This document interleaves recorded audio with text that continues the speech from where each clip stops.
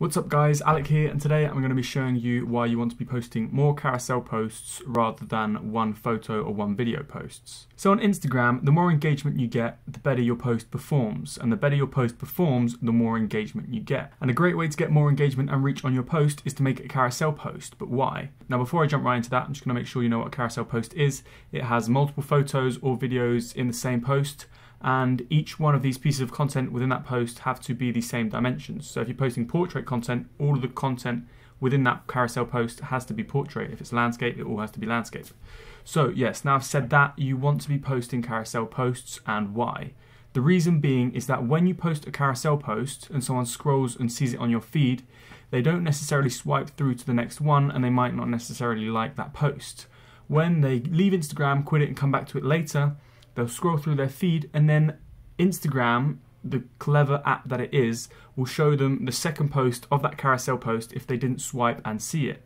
And because they didn't like this post the first time, Instagram is showing them the second slide of this post, so they're seeing it again, and they're uh, more likely to like it because they're seeing it for a second time round. Now, if this was a normal one photo post, someone would scroll through it, see it on their feed, not necessarily like it, and once they've seen it, they've seen it. They're just going to keep scrolling and then They'll leave the Instagram app and they'll come back to the Instagram app, and the Instagram algorithm is going to place that post at the bottom of the user's timeline because they've already seen it. This is why the Instagram algorithm is so clever. It shows people a post if they haven't seen all the content within that post. And the way that someone doesn't see all the content within a post is if it's a carousel post.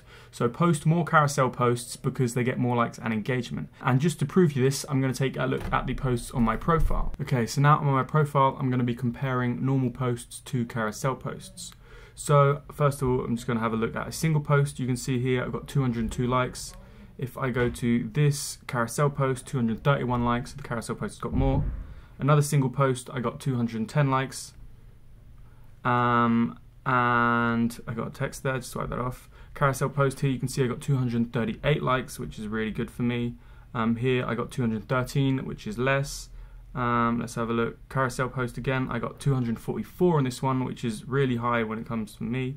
Um, this one I got 184, and and as you can see, look, another another single one 183.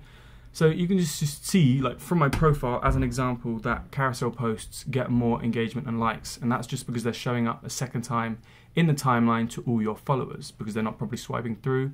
So they see them more, they look at them longer, they're more likely to like them, they're more likely to comment them when they see them for a second time. So start creating carousel posts. So yeah, that's the video for today guys. Let me know what you think of this trick to boost your Instagram engagement. If you enjoyed the video, hit the like button. I want to hear all of your thoughts, questions, comments in the comment section below. If you want to see more of these, don't forget to subscribe. Don't forget to follow me on Instagram at Alec Wilcock. And again guys, thanks for watching.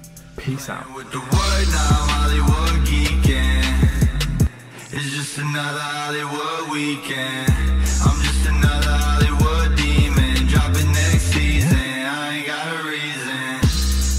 Now Hollywood geek. That was an energetic piece out. I felt that one. i have got the energy for making these videos again.